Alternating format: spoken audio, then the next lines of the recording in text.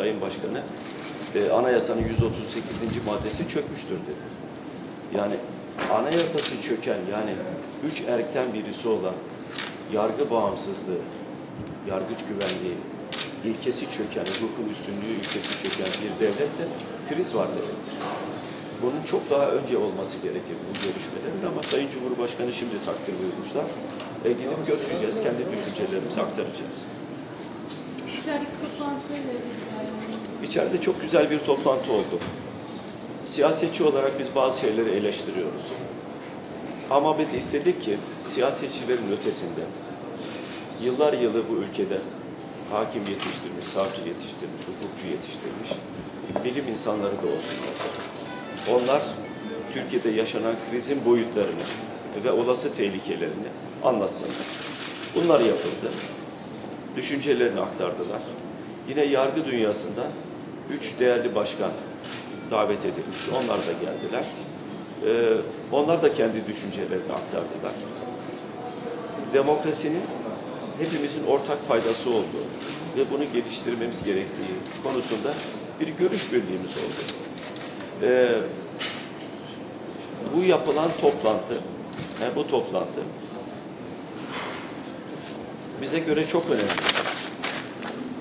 Gazetelerin genel yayın yönetmenleri ve e, hukukçular bir araya geldiler. Onlar değişik sorular sordular. Yanıtlarını aldılar. E, özellikle Sayın Tez için e, yaptığı bazı saptamalar çok çok önemli.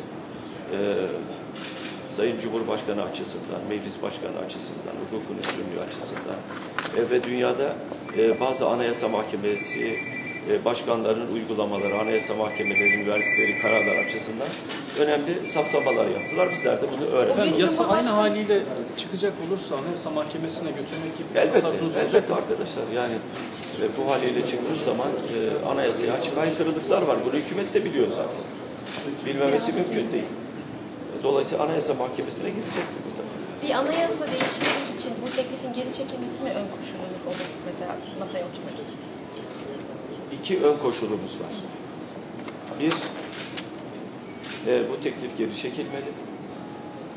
Anayasa Uzlaşma Komisyonu Sayın Cemil Çiçek'in başkanlığında toplanmalı ve süratli bir şekilde Hakimler, Savcılar Yüksek Kurulu mu veya bir başka alan mı neyse o konuda oturulur, çalışma yapılır. İkinci ön koşulumuz yolsuzluk soruşturmalarına hükümet müdahale etmesi. Bıraksın, savcılar görevini yapsın. Hırsızın savunulduğu bir ülkede demokrasi olmaz. Kim kul hakkı yemişse, tüyü bitmemiş yetimin hakkını yemişse bunun üzerine gidilir. Bütün bu rez- rezaletler yolsuzluk olaylarının üzerine gidilmesin diye yapılıyor. Ortaya çıktı. Bunlar doğru değil. Bu iki koşulumuz var. Teşekkürler.